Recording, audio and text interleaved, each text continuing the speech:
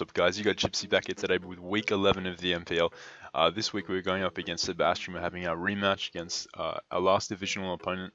Uh, Sebastian's a really good friend of mine, guys. So go and check out his channel if you haven't already. It'll be in a link. Uh, his, link will be down below in the description. Uh, this match is actually the, the, only match standing between us and an undefeated season. So my week 12 opponent, just a little spoiler, he actually um, he dropped out of the NPL. He'd had enough. He thought it had gone like 10 and 0. He just wasn't he wasn't having a good time. Uh, so he just decided to click that X, and you know we got a 3-0 win from that. So as did you know Tog and Seb, the other two guys in my division. So yeah, that was uh, that, you know that's unfortunate, but you know that's just that was his choice. He just I think he was just a bit out of his depth, and that's fine. That's completely fine. So. Uh, yeah, so this is the this is the last match we've got uh, of this season, basically of the regular season. So obviously I'm wanting to win because then I'll have gone undefeated, had a flawless regular season, which is something that uh, no coach has ever done in the NPL. So that that'd be pretty amazing for you know just a nice thing for me to achieve. Um, but that's not going to be an easy task at all because Sebastian, as I said, he's a really good player and his team is just insane versus mine. Um, because he has like three he has three amazing checks to my Mega Pinsir. If you guys haven't seen my first game against Sebastian, I recommend you go and check it out uh, before you watch this, just to get a bit of insight into like, you know, what our team matchup is like. Uh, you know, even though our team has changed quite a bit since we played then, like I've taken on Nidoqueen, I've lost uh, Nidoking, I've lost Emboar. He's um he's taken on stuff like Amoonguss and Manaphy. Our teams have changed.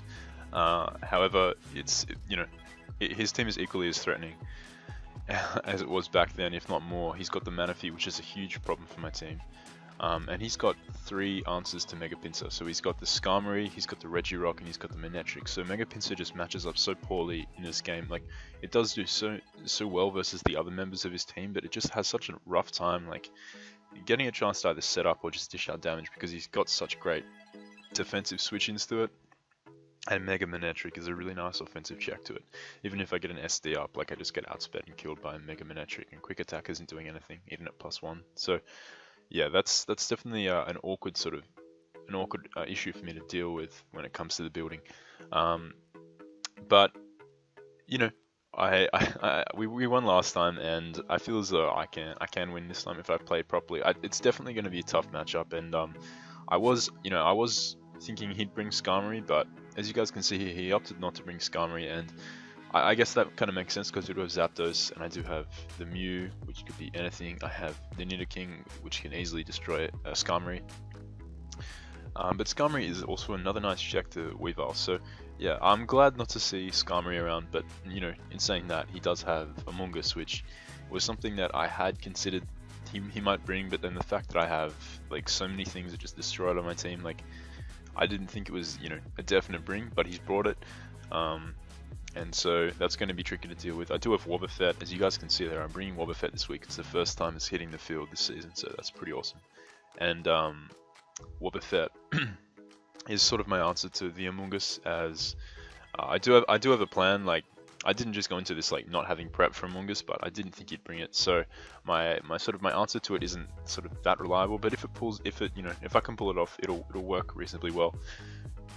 Uh, but obviously Amoonguss does stand in the way of my Toxic Spikes, which on Nidoking is a really nice versus him. As you guys can see, it affects, um, you know, 4 out of the 6 mons on his team. He doesn't have Hazard Removal, so if I can get the T-Spikes up, uh, you know, we'd be looking good, but he obviously he has the Amoonguss Teeth those up every time it comes in, so that's definitely an annoyance, and I don't really have the best answer to Spore Spam, because Whimsicott gets murked by Sludge Bomb, and I don't have, like, safety goggles on any of my mons, so yeah, uh, the Amoonguss is definitely an issue. Uh, I see the Regirock, and that that is definitely a roadblock for stuff like Weavile. Uh, obviously, Nidoking can handle it pretty well, unless it's like a Shuca Berry Lure variant with max attack Earthquake. Uh, and I also have Whimsicott to deal pretty nicely with the Regirock. Uh, the Uxies, I figured the Uxie would definitely come to be some sort of switch into my Nidoking. Uh, it pretty comfortably checks any variant of Nidoking unless I'm like a banned Megahorn variant and he's something like a especially defensive variant. Uh, it's very nice versus my team. It can, if it's fast, it can poison stuff like my Mew my Zapdos, uh, my, you know, my Whimsicott. It can uh, obviously set up rocks, which is definitely not nice at all for my team. Uh, and then you've got Manectric there, which pretty probably be pretty standard Mega Manectric set to be honest. And then you've got Manaphy, which could be anything. Manaphy's a huge threat, um, but I do have ways to I do have ways to check it. I'll just quickly go over the team that I brought. We have especially defense, uh, especially offensive Nidoking with the T spikes as I mentioned. I'm rocking some just some coverage moves for his team to hit it super effectively. Pretty pretty standard Nidoking set. Uh, then I've got my Mungus, uh, my well, Whimsicott, um, which is a more offensive set this week. I got the switcheroo. Uh, I can switcheroo my specs over to something like Amoonguss uh, or the Uxie who want to come in, and that basically will really uh, reduce their utility. Like the Uxie has a potential to be a real pain to my team, but if I can switch the, the specs onto it, then it's kind of neutered in that sense. I, I don't think it's going to be like an offensive variant, but just purely due to the fact that it needs he needs a reliable way to check the Nidoking. Uh, if I can check my spec, if I can switch around my specs to the Amoonguss 2, that'll be far easier to handle as then my, my Wobbuffet will be able to uh, basically trap it and kill it. Um, and obviously Specs Energy Ball is really nice versus stuff like the, the Diggersby, the Regirock, and the Manaphy. So next up we have my Mew, which is a pretty defensive variant. Uh, and it's basically Calm Mind Psychic Taunt Roost, so I can, if I can get Calm Minds up and I can taunt the slower uh, status spammers, I can basically one v one his team.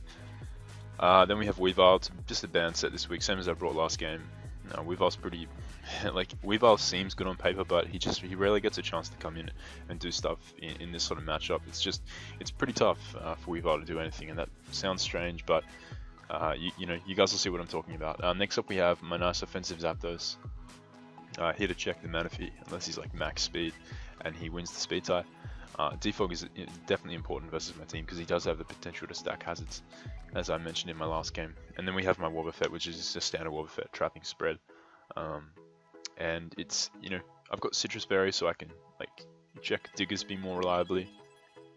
Uh, you know, as well as basically everything on his team. Just the, the Sitrus Berry is quite nice. Uh, but that's the team, so we'll jump into the match. I figured as though leading with Whimsicott was the best bet. If you wanted to lead with Amoonguss, I could go right out into my uh, Wobbuffet. If you wanted to lead uh, anything else, I could get the powerful energy ball off, potentially trick my specs on, switch in my specs into the Uxie if you wanted to lead with that. Uh, you guys are going to see he leads off with his Manectric as I lead off with my Whimsicott. Now, right here, I, I did expect him to go into his Whimsicott or his Uxie. Um, I, I go for the U-turn here because I want to just sort of... I, I don't want to reveal my the fact that I'm choice locked yet. And I may want to keep my specs around for either you know the Manaphy to hit it pretty hard or to you know deal huge damage to the Regirock. Stuff like that. So I, I just go for the U-turn right here as he switches out, not wanting to risk any uh, Whimsicott shenanigans. He goes right into his Amoonguss, which is a, a good play in his part. I didn't want to risk him, you know, not switching out to Amoonguss and then, uh, you know, wasting my specs here. So I go into my Mew, um, and right here I'm pretty safe to fire for Taunt because if he wants to Spore, uh, I, you know, Mew will obviously avoid avoid the spore, and if he goes out to his Uxie, I can at least taunt him, preventing him from toxicking, uh, preventing him from toxicking straight up. So I just go for the tox. Uh, I go for the taunt right here. He uh, reveals foul play. Now uh, that that was pretty nice on his part. In case I had brought something like Metagross with safety goggles, because foul play does huge damage to Metagross. Uh, so that was a very nice bring on Seb's part. Now right here, I, I contemplated going for Calm Mind. However, his most likely switch in is going to be the Uxie, and if I can get psychic damage off on the Uxie, and if he's a leftovers variant, I can scout who who goes first as a sort of, you know, who, whoever gets lefties first will first will basically be the faster of the two. So I go for the psychic just wanting to gain that valuable information. As you guys are going to see, he does go out to his Uxie, and that's that's really nice for me. Um, he brings an Uxie, and it takes 10% from the Psyshock, so it's not doing much. It's a pretty uh, pretty defensive variant.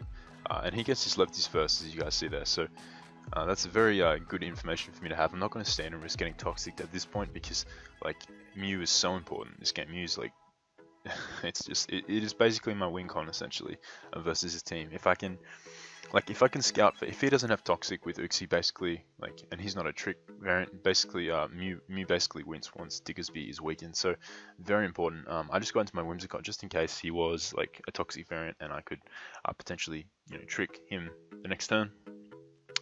Uh, he goes for the stealth rock here and uh, you know that's pretty annoying but I do have defog and Zapdos so it's not the end of the world by any means I just go for the switcheroo here expecting him to bring in his uh, his Amoonguss on my potential Encore or something of that nature as we do trick him the specs as we get the Yache Berry. So now I can U-turn out into my Wobbuffet. If we wanted to switch out there, then I would have gained momentum with the U-turn.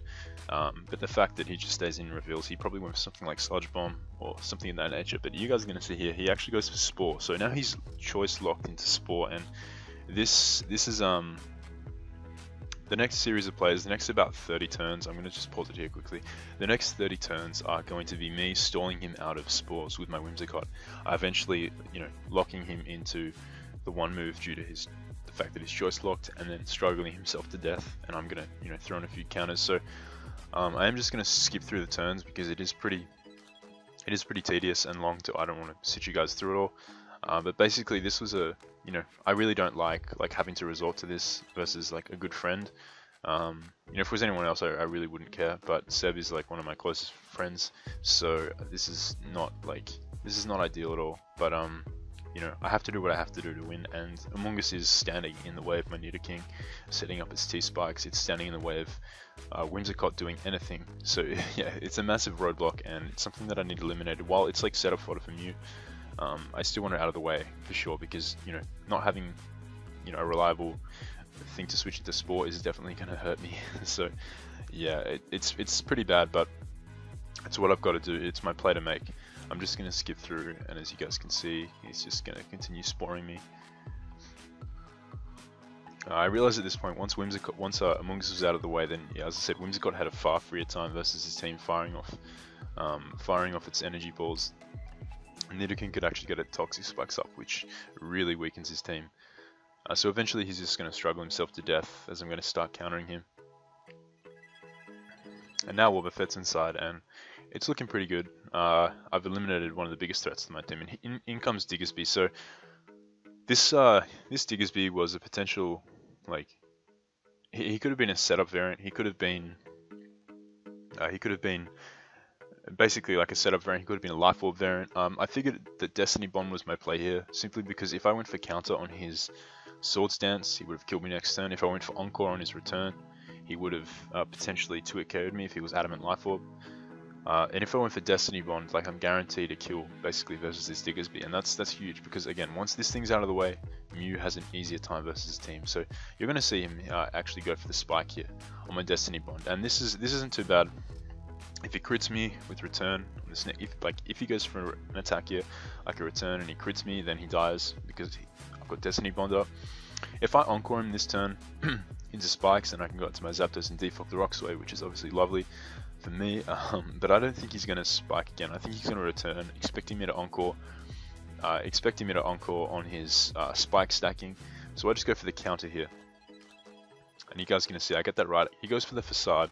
Interesting play. It pop, does pop my sitrus and counter just narrowly misses out on the kill there. It does 99% and this means that um, it was maybe like a bulkier Diggersby, potentially like made to take on Will-O-Wisp Mew, which is a really, really cool set. So props to Seb for that. That's a mad set on his part.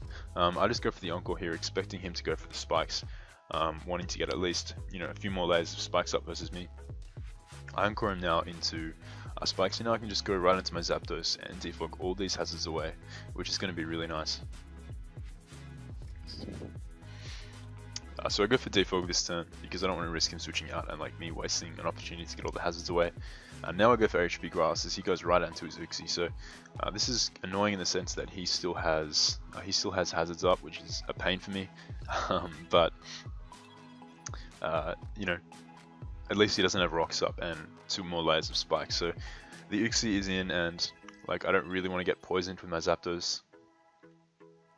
Um, but I just go for the zap, I go for the T-Bolt, just trying to get damage, because if I can wear this thing down, then it's easier for Nidoking and Mew to put in work. Uh, so I do cop the Toxic that turn, and I don't really want to stay in and start defogging, because he will always get his rocks up, like, because he is slower than me, and he has potential to go into Manectric and eat up a T-Bolt and get that plus one. I didn't, it wasn't really worth staying there with Zapdos, so I just go into my Wobbuffet here. So he goes for the rocks, and now I go for the counter, expecting him to U-turn, expecting me to encore him into like Stealth Rocks or Toxic. Uh, you guys are going to see counter will be able to take out the Diggersby, so that means no more spikes, which is very nice. And uh, Wobbuffet lives another day, so Wobbuffet's still at a decent amount of health. I can get rid of the hazards, then it can still do some work potentially. I go out here into my Nidoking expecting a uh, expecting a T-Bolt or something, which could have taken me out at that range if he got a high enough roll, and if you calc my spread. But he actually goes for the Volt Switch, so that, that would have actually, uh, Wobbuffet would have survived that, and uh, he would have got a kill on something. So uh, I guess uh, unless he was modest, if he was modest Manectric, then it probably could have taken me out. Um, but I, I, don't really know about that. But um, I just go for the Nidoking right here. I just set up my T-Spikes now because uh, if I can't if I don't get a chance to defog with Zapdos, then at least I have T-Spikes up, which will whittle his team down in conjunction with my team getting whittled down by these two layers of hazards. As he brings in his uh, Uxie here, and obviously I'm not going to sack Nidoking off to the potential Psychic. Like, he has been revealed to be quite fast, so he's he's actually outspeeding my Nidoking because of my Mew's speed creep. I know his Uxie is quite fast. I go into my Wobbuffet here just to I basically sack it off. Potentially, you know, if he wants to go for something like Toxic this turn and he gets a lure on U-turn, I might be able to live it and go for a counter or something in the nature, but he actually goes for the Psychic here and gets a crit, so yeah, Wobbuffet, is, Wobbuffet has done, definitely done its job. It took out two members of the opponent's team, so that's that's absolutely huge for, for its first game. I'm pretty happy with it. Shout out to Joel. Um, so he just goes out, goes right out into his Regirock, and this is nice. I've got this thing poisoned, so I was feeling pretty good about this. Uh, while I could have gone out to my Zapdos and defogged at this point, he could have just brought right back in Uxie and set up rocks again versus my Toxic Zapdos. So my real play here was to go into Mew and just fire for Taunt in case he was like a setup variant or in case he wanted to switch right back out to Uxie. And you guys are going to see that's what I do. Uh, the fact that, you know, I have revealed to be this sort of variant of Mew uh, makes him think, makes me think that like he's going to prioritize getting the Toxic off on Mew. And this is very nice. The fact that I just got a Taunt off on the Uxie means I'm guaranteed another turn of lefties uh, he's going to go for the U-turn as I can just calm mind up once. I'm going to switch out and he goes back out into the Regirock. So I'm just going to fire for Taunt here. And this uh, this Regirock could either just fire for Stone Edge um, or something like that. He, he does go for the Stone Edge here and I did predict him to either like maybe do like a setup move like a sub or maybe just fire for Toxic of his own something like that. Uh, but he does go for the Stone Edge, and I guess he's trying to bait me to Roost up so he can get a pretty free switch out into his Uxie and then Toxic me in the next turn. Because, like, if Uxie's taunted, then it can't touch me. But if it's if you know he comes in on the turn that I Roost up, then he can uh, potentially Toxic me. So I'm not going to stay with Mew this turn because it's so important. Like, it does beat the rest of his team. As getting a Toxic would, at this point in the match, when I don't know the rest of his mons, like, once I determine his Manaphy set and his Regirock, and I get the Manectric whittled a bit, like Mew getting Toxic won't be the end of the world because at least it'll synchronize the Toxic back onto the Uxie, which is something that I'm, a, a trade that I'm willing to make basically. Uh, he, I go into my Zapdos here hoping that he'll go for the Toxic, but he actually goes for the U-turn, so he makes a great play here, goes for the U-turn, and now gets momentum out uh, into his Manectric. So the fact that this is poisoned is nice. If I do get a chance to defog the rocks away, at least I've got Manectric and Regirock poisoned hazards are really hurting me here because um, basically like his Manectric, uh, we're in a situation where like I had already brought in Nidoking on the Manectric, which I think should have signaled to him that I was Yache Berry or some sort of like variant that was able to take at least two HP ices from him. But he, you know, he makes the play there and goes for the T-Bolt on my Mew, and now Mew is at a really low amount of health, so my Wincon is severely weakened, it's at 31%, so like I can switch in once more on hazards, but like if I get hit with an attack, by a faster mon like Manectric or Uxie, even Uxie's U-turn will, will take me out at, at that range of health that I'll be at after hazards next time. So yeah, healing up Mew's definitely going to be a priority. I'm probably going to have to sack something and uh, get the heal up versus a slow mon like Regirock. So I'm just going to switch out here, go right out into my Nidoking as he goes as, you know, he was very unlucky with the HP ice there, like his play was to T-Bolt or Toxic if he had it. Um, and, you know, the Manectric's getting whittled. Granted, I have taken huge damage on my Mew. The Manectric is getting whittled down pretty nicely. I go for the Sludge Wave here, just in case he wanted to go into his Uxie, which is his switch into the Nidoking. Um, and, you know, by that at least I'll be getting a bit of damage off on him. A bit, and, you know, obviously more than Earth Power wouldn't do anything because he has Levitate. So, in comes the Regirock. Now here, I, I predicted him to go for the, uh, the Earthquake, uh, or something like that. You know, if he had like you know, Earthquake was his play basically, um, in, in my eyes, uh, or he or he could have made a double out to Uxie. Um, if he, had he made a double out to Uxie, predicting my Earth Power here, then my, my, my play made sense. As you guys are gonna see, I do actually switch out to my Zapdos, so he was either gonna go for the EQ or switch out to Uxie. And according to my according to my calcs, like sorry, according to the range of health that Zapdos was at, it does live like around of toxic because it said after rocks it'd be at 7%, meaning that it'd live on 1% and I could roost up or defog the rocks away and the spikes. But as you guys are going to see, like Showdown lies and it's not actually at 6, uh, 7%, it was at like 6.1% or something like that. And uh, Zapdos is actually going to die here to poison. So he goes for the rest here, which is really, really nice building on his part. He's a Chesto Resto variant, and you guys are going to see Zapdos goes down. So that is that was a really costly, like, it was really costly for me. Um, Showdown really, like, screwed me over there, but, you know, it was, again, it was my fault for, like, not checking the, the exact percentage that Zapdos was at. It kind of slipped my mind during the match, and it, it did cost me there. Um, but right here, I can just basically roost up, like, if he wants to switch out to Uxie, he can, but getting Mew healthy is my priority. So he goes out to Uxie right now, and you know, while I have shown that I'm quite obsessive over not getting Mew toxic, like it's very possible that he could predict me to switch out to, to the Nidoking here, so I just do just go for the Roost again as he goes for the U-turn, trying to grab momentum, I might predict to switch in like a Nidoking or something like that. So in comes the, the Regirock, and we're looking pretty good because we're at full. This thing's poisoned. It can't hurt me at all because I'm def quite defensive. I can just start taunting. And so he goes into his Uxie here and catches this taunt. So that's pretty nice. We can start Calm Minding here because he needs the U-turn out. And if I get a Calm Mind up, then I can quite easily take on the Manectric. As uh, in comes the Manaphy, King of the Beach. Now, because I'm a plus one, plus one, like I can effortlessly take a plus zero Scald from the Manaphy. Um, my plus one Psychic will be doing anywhere from 42 to 50. Uh, it's doing over half, and, or it's doing about half, and with the poison damage he's taking, it's going to be a 2 KO. Uh, if I am a faster variant of Mew, like I could I could taunt here to prevent the Rain Dance or the, or the Tail Glow or the Calm Mind. However, uh, if he is like a fast variant and goes for the Tail Glow, he's going to outspeed me and go for the Tail Glow, and then do around 40% with the Scald next turn. So my play here is to Psychic just to gauge his speed and gauge the damage. So I do go for the Psychic here, and as you guys are going to see, I actually outspeed his Manaphy, so I deal quite a lot of damage, 42%, so a pretty low roll, but it is enough to 2 KO him, but he's obviously the Rain Dance set as you guys can see, so he's a slow variant of Manaphy. Uh, so right here I just go for the Taunt, I believe, as the Uxie comes in, just in case he wanted to rest up. Uh, I'll go for the Calm Mind or something of that nature. If he wanted to go for the Scald and try and fish for a burn, I was more than happy for him to do that because that means I couldn't have gotten Toxic by uh, this, this Uxie, meaning that I could far easily 1v1 the rest of his team. So yeah, getting the taunt off there was nice in the Uxie. Is again, I can just calm mind up now. When he switch out into something like a Manectric. As you guys are going to see, he does go out into Regirock right here. So I go for the Calm Mind. And now I'm just going to fire off another taunt because I lose nothing by it. Like I don't know if this thing is a taunt, like is a toxic Regirock. And if he is, it's not worth like risking it here. So I just go for the taunt. As the Manectric's going to come on in. And he just goes for the T-Bolt, just trying to get damage. If he paralyzed me, again, I'd be pretty happy. I'd be very happy with the paralysis right there. Um, but he just goes for the T-Bolt. And now he, he just hard switches right out into his Uxie. As I just go for the taunt once more. So I double taunt predicting him to either volt out to Uxie or just hard switch. I do get that right. And now I can fire off a Psychic on his switch in. I see opts now staying and just go for the Psychic. So maybe he's trying to like, maybe he's just willing to let Uxie get weakened and he's willing to get it, let it get poisoned. I felt at that point in time he was just going to stand until his taunt wore off and then toxic me. But if he had done that, I would have been pretty fine with that because Mew, like Mew, is at a range of health where it can it can kill the Manectric, it can kill the Reggie, it can kill the Manaphy. And if Uxie gets poisoned, then it's just putting itself closer and closer in range to die from.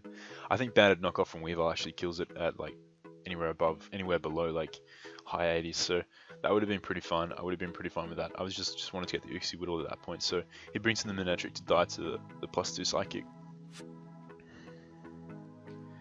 As now Uxie can come back in. And I'm just going to start firing off Psychics because uh, while he Toxic me and it sucks, like at least he's getting whittled down as well by Toxic. And you can basically uh, 1v1 this Uxie at this point. Uh, the hardest thing it has to hit me with Psychic, meaning that something else on his team has to take a plus 2 Psychic after it switches in, as well as the toxic damage. So a Regirock's going to come in here and it takes it pretty well actually. It takes only 59 from a plus 2 psychic. So Regirock is really, really bulky. It's got 100 speed F as well.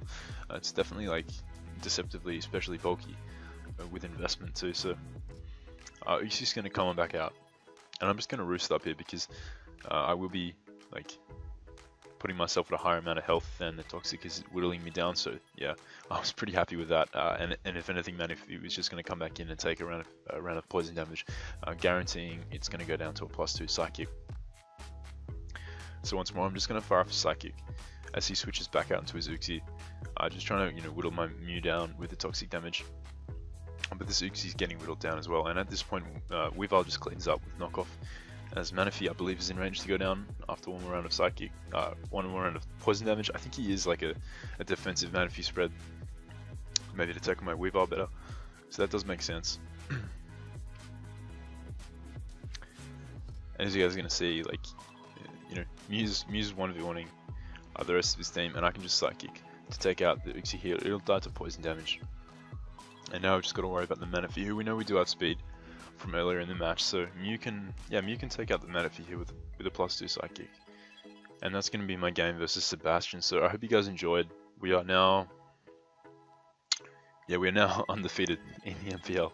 That's amazing. We're 12 0, and I'm really happy with that. Like, it's been a it's been a really fun season, and um, Mew's Mew's definitely put the team on its back multiple times, multiple games.